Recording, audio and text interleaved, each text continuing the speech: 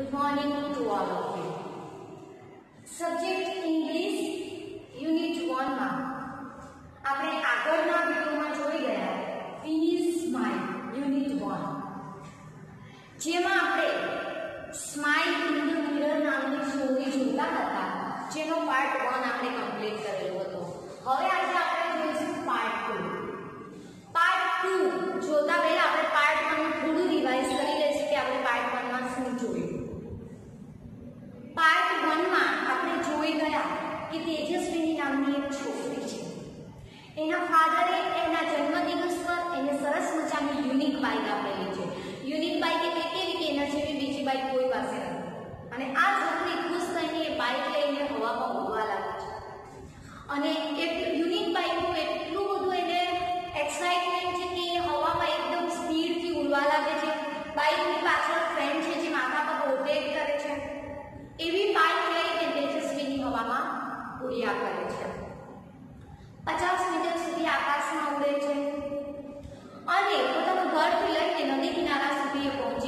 હવામાં ઉડતી હતી જ્યારે રિટર્ન થાય છે, ત્યારે એ રસ્તામાં શું જુએ છે? સૌથી પહેલા એ જુએ છે એની સ્કૂલની છત કે જેના પર ઘણા બધા પાંદડા છે. તો એ વિચારે છે કે હું આવતીકાલે સ્કૂલ જઈશ અને આ પાંદડા ચોખ્ખા કરી દઈશ. અને પછી તમને પૂછવામાં આવેલું હતું કે તમે ઇમેજિન કરો, વિચાર કરો થિંકિંગ કરો કે તમે તેજસ્વીની નદી કિનારાથી એના ઘર સુધી આવે છે ત્યારે એને કઈ કઈ વસ્તુ જોઈ હશે ઓનલાઈન લેક્ચર્સમાં તમે જવાબ આપજો મને કે શું જોયું હશે જેમ કે મંદિર જોયું હશે ગામના ઘરો જોયા હશે જળ જોયા હશે ગામના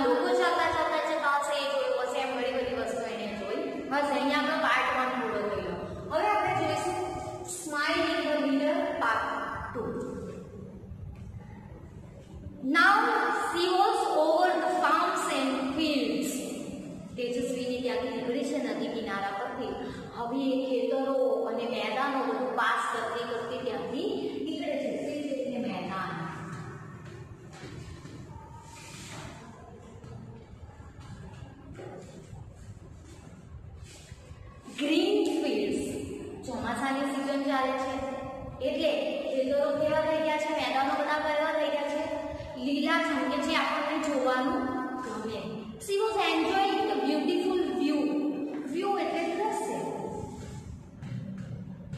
વ્યૂ એટલે દ્રશ્ય એકદમ સુંદર મજાનું જે દ્રશ્ય છે ઉપરથી એને જે દેખાય છે ધરતીનો નીચેનો નજારો એ એન્જોય કરે છે આનંદ માણે છે and then she notice a flock of birds on her way અને રસ્તામાં એ હવામાં ઉડે છે એટલે રસ્તામાં એને ફ્લોક ઓફ બર્ડ્સ હવામાં ઉડે છે એટલે કે પક્ષીઓનું ટોળું મળે છે આપણે રસ્તા પર જતા હોય ત્યારે આપણે પ્રાણીઓનું ટોળું મળે પણ હવે એ રસ્તામાં છે હવામાં તો એને સાનું ટોળું મળે છે પક્ષીઓનું ટોળું ફ્લોક ઓફ બર્ડ્સ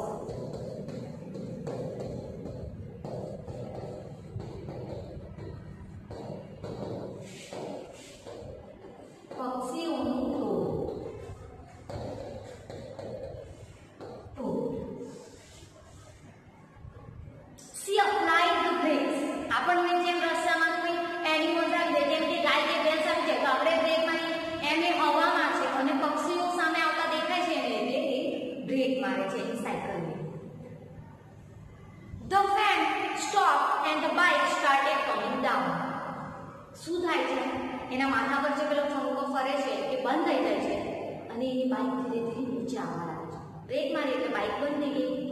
પાછળ છે પંખો ચાલતો હતો, એ બંધ થઈ ગયો અને બાઇક નીચે આવવા લાગે છે. કમિંગ ડાઉન એટલે નીચે આવવા. તેજસ્વી close her eyes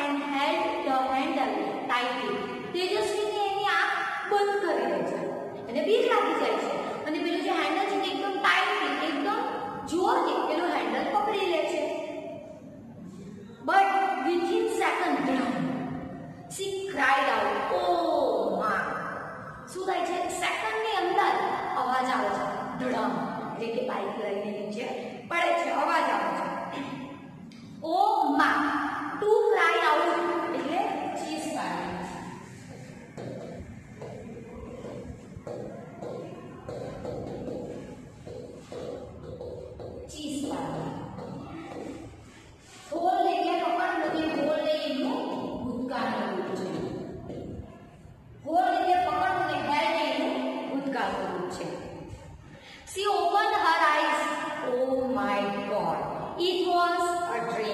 She got up, washed her face and looked into the mirror.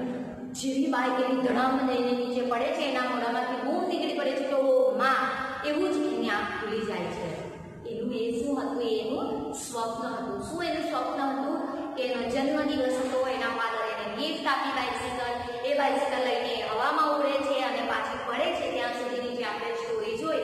એ તેજસ્વીનીનું સપનું હતું એ ઉઠે છે. એનો ફેસ પાણીથી વોશ કરે છે અને પછી કાચમાં જુએ છે.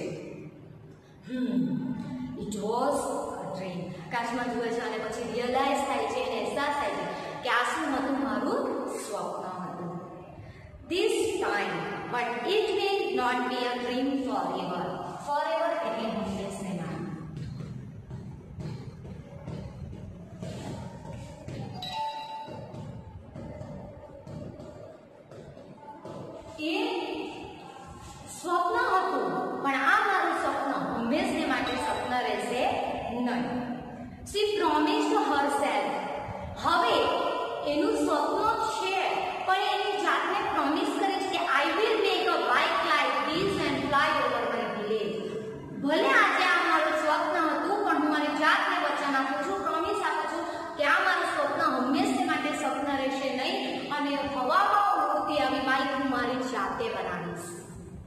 She smiled at herself in the mirror.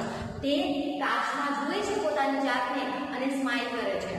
આપણે પણ આપણી જાતને ચેલેન્જ કરીને કોઈ પણ વસ્તુ માટે આપણે આપણી જાતને ચેલેન્જ કરીશું, તો આપણે એ વસ્તુ બનાવવા માટે, એ વસ્તુ મેળવવા માટે સખત પ્રયત્ન કરતા રહેશું. તેમ તેજસ્વીની લાસ્ટમાં પોતાની જાતને ચેલેન્જ કરે છે પ્રોમિસ કરે છે કે હું પણ આવી હવામાં મોટી બાઇસિકલ બનાવીશ. અને અરીસામાં જોઈને સ્માઇલ કરે છે.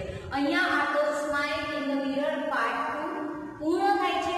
એક્ટિવિટી સિક્સમાં જે બ્લેન્ક્સ આપેલી છે એ આપણો હોમવર્ક છે કે જે આપણે પાર્ટ વન અને ટુ વાંચીને એમાંથી આપણે એ કમ્પ્લીટ કરીશું અને આગળનું આપણે નેક્સ્ટ